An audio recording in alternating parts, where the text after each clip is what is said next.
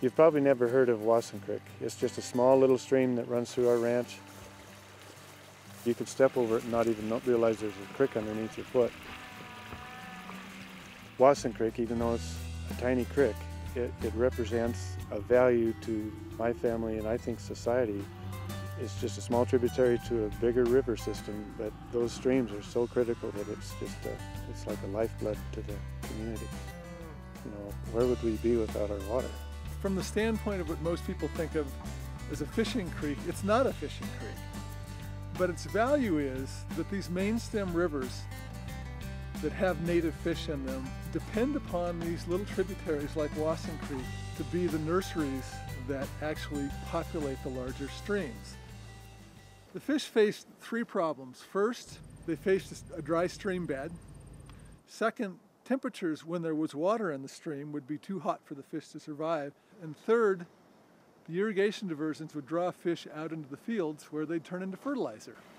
The fixes for these various problems for the fish were to get water back in the stream through a water lease, put screens on the ditch so that the fish wouldn't go down the ditches, and third, to keep the cows out of the creek long enough for the streamside vegetation to grow back in ways that would provide shade to allow that creek to cool down.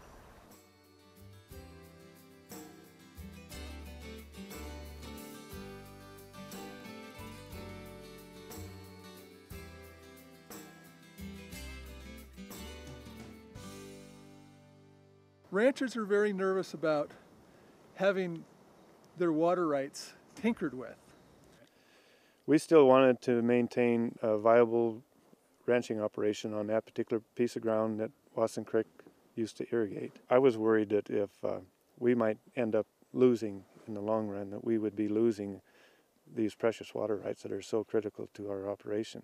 My role was to spend time with them to explain how their water rights worked, how this process would work, and the steps that we would take to assure that their water rights were secure. After a short time with Stan and working with him, those uh, fears kind of went away because it, it just felt like Stan was doing everything he could to protect our rights and our values. It felt like he was on our side. So um, then we kind of let down our guard a little bit. And, and once we got to that point, then we could begin to talk about how we could actually figure out a way to keep this water in stream. It's not just water that can make a stream healthy again. TU's Big Blackfoot chapter, Montana Fish, Wildlife and Parks, and other partners identified several of the problems posed to the fish aside from water. As part of the restoration, the Mannix Ranch fenced off more than a mile of Wasson Creek from cattle grazing. The project partners planted willows and built up stream banks and TU installed screens to prevent fish getting trapped in irrigation ditches. It used to be a real bog where cattle would cross it. Um, it was just a mud hole. And just within a few years, the stream narrowed and deepened. What we're starting to see up and down the riparian area, since the cattle access has been limited, it's allowed some of these shrubs to rejuvenate themselves and reestablish seedlings in, in other areas that cover and that diversity makes for a healthy, resilient uh, riparian area. It makes the banks, stream banks more stable. It uh, helps cool the water, keep the water temperatures cool, which is real critical for cutthroat trout.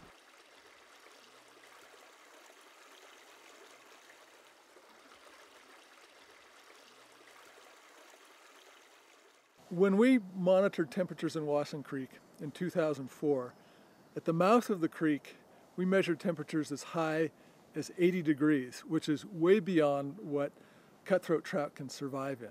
The first year after the restoration was completed, at the mouth, in the hottest summer on record, 2007, we measured a temperature of 66 degrees. That's 14 degrees difference, and that 14 degrees is the difference between life and death for cutthroat trout. What that tells us is that even in really bad hot years, if this habitat is intact, it will support cutthroat trout. Now if you go up there, just about any time I go there, I can see one, a little fish scurry off into the shadows. And the fishing game has been back every year to inventory the fish numbers and they've continued to increase, and uh, they're very pleased with uh, with the numbers that they're seeing. The value, I, I think, to us is uh, in our hearts and souls on on a project like that. It wasn't a lot of inconvenience for us, and it was very little expense for us. Because of uh, this lease agreement has worked so well for us, then we entered into the 10-year lease, and that will expire in 2017, and we would hope that we could extend that. My grandfather taught us a lot. He was always able to instill some of the land ethics that he had. He said, "I don't feel like I'm a, that I own this land. I don't feel like it's mine." He felt like he was a steward of the land, and he was just here temporarily, and it was his duty to leave the land in better condition than he found it. And I think that uh, we share that ethic, and I, I hope that um, in the end that that our legacy will show that.